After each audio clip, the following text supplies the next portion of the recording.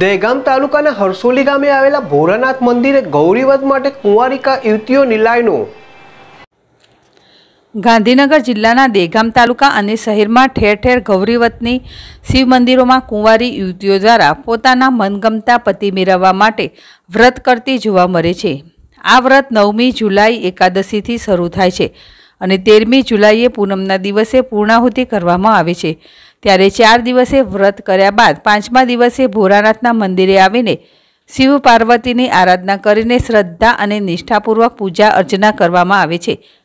અને આ દિવસે એકટાણું કરવામાં આવે છે અને વ્રતની કથા સાંભળવામાં આવે છે અને રાત્રે બાર વાગ્યા સુધી જાગરણ કરવામાં આવે છે.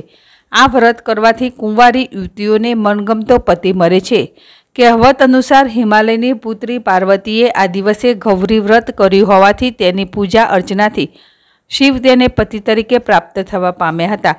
ત્યારથી આ સમયે આ વ્રત કરવાનો મહિમા વધી જવા પામ્યો છે.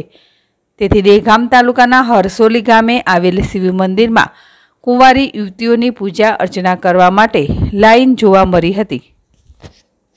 અગરસિંહ ચૌહાણ જેડેશ ટીવી, દેગામ.